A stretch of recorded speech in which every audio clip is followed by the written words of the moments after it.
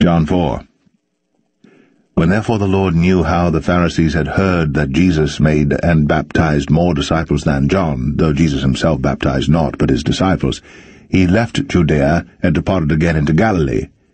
And he must needs go through Samaria.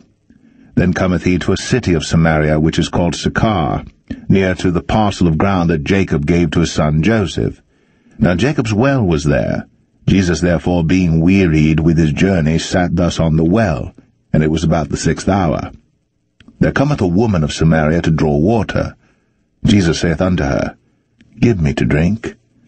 For his disciples were gone away into the city to buy meat. Then saith the woman of Samaria unto him, How is it that thou, being a Jew, askest drink of me, which am a woman of Samaria? For the Jews have no dealings with the Samaritans. Jesus answered and said unto her, If thou knewest the gift of God, and who it is that saith to thee, Give me to drink, thou wouldst have asked of him, and he would have given thee living water.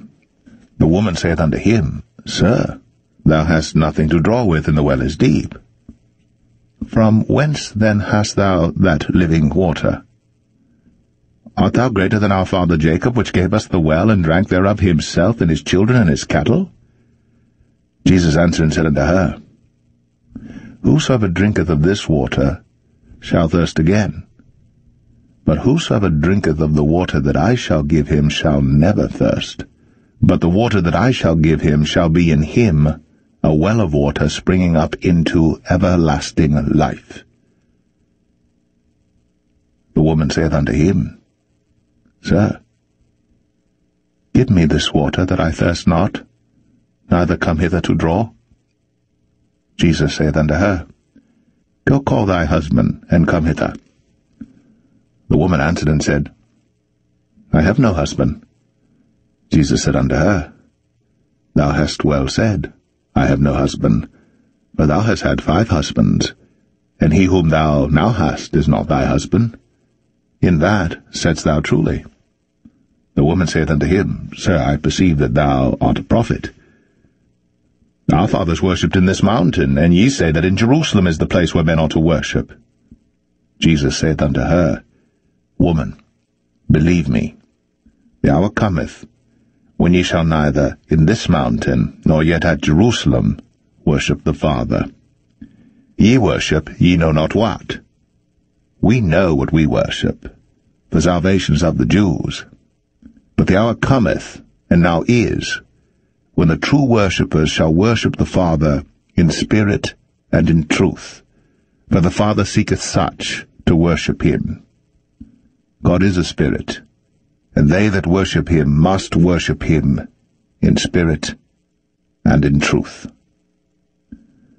The woman saith unto him, I know that Messiah cometh, which is called Christ. When he is come, he will tell us all things. Jesus saith unto her, I that speak unto thee am he.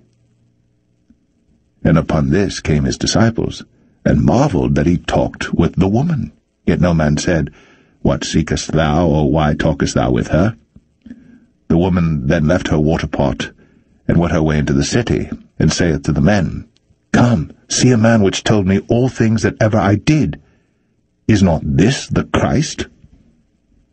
Then they went out of the city and came unto him. In the meanwhile his disciples prayed him, saying, Master, eat. But he said unto them, I have meat to eat, that ye know not of. Therefore said the disciples one to another, Hath any man brought him aught to eat? Jesus saith unto them, My meat is to do the will of him that sent me, and to finish his work. Say not ye, there are yet four months, and then cometh harvest. Behold, I say unto you, lift up your eyes, and look on the fields, for they are white already to harvest. And he that reapeth receiveth wages, and gathereth fruit unto life eternal, that both he that soweth and he that reapeth may rejoice together. And herein is that saying true, One soweth, and another reapeth. I sent you to reap that whereon ye bestowed no labour. Other men laboured, and ye are entered into their labours. And many of the Samaritans of that city believed on him for the saying of the woman which testified, He told me all that ever I did. So when the Samaritans were come unto him, they besought him that he would tarry with them, and he abode there two days. And many more believed because of his own word, and said unto the woman, Now we believe not because of thy saying, but we have heard him ourselves, and know that this is indeed the Christ, the Saviour of the world. Now after two days he departed thence, and went into Galilee. For Jesus himself testified that a prophet hath no honour in his own country. Then when he was come into Galilee, the Galileans received him, having seen all things that he did at Jerusalem at the feast. For they also went unto the feast. So Jesus came again into Cana of Galilee, where he made the water wine. And there was a certain nobleman, whose son was sick at Capernaum. When he heard that Jesus was come out of Judea into Galilee, he went unto him and besought him that he would come down and heal his son, for he was at the point of death. Then said Jesus unto him, Except ye see signs and wonders, ye will not believe. The nobleman saith unto him, Sir, come down ere my child die. Jesus saith unto him, Go thy way, thy son liveth. And the man believed the word that Jesus had spoken unto him, and he went his way. And as he was now going down, his servants met him and told him, saying, Thy son liveth. Then inquired he of them the hour when he began to amend. And they said unto him, Yesterday at the seventh hour the fever left him. So the father knew that it was at the same hour in the which Jesus said unto him, Thy son liveth, and himself believed, and his whole house.